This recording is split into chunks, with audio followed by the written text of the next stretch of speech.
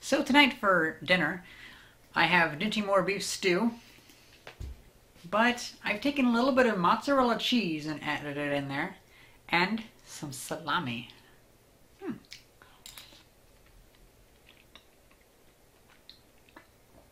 Fucking A.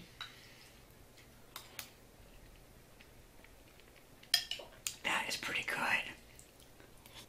But what did I expect? It's salami and mozzarella cheese. I mean, really, is it going to be bad? I don't think so. That's pretty good.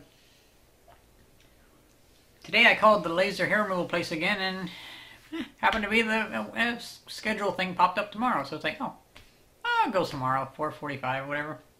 Works for me. Well, I am going to eat this because this is actually really good. That's, that's, that salami in here really, really, really helped a lot. Granted, it's a, beef stew is a wonderful thing anymore. Uh, wonderful thing anyway, but oh well. Well, I hope you guys enjoyed this video, and thank you very much for watching. See ya!